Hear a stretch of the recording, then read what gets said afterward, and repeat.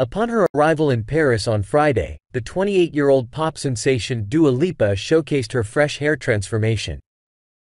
She surprised everyone by dyeing her jet black hair a vibrant cherry red, a bold change that she proudly exhibited at Gare du Nord station in the French capital.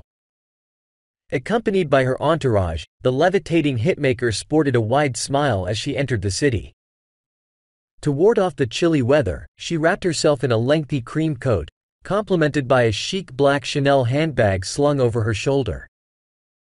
Dua Lipa, a Grammy Award-winning artist, concealed her eyes behind dark glasses and added a touch of flair with small hoop earrings. The Dance the Night songstress initially unveiled her new look on Instagram last week amid her return to social media. This is not the first time Dua has donned a daring hairdo, having combated boredom of the COVID-19 lockdowns by choosing to color her dark locks pink.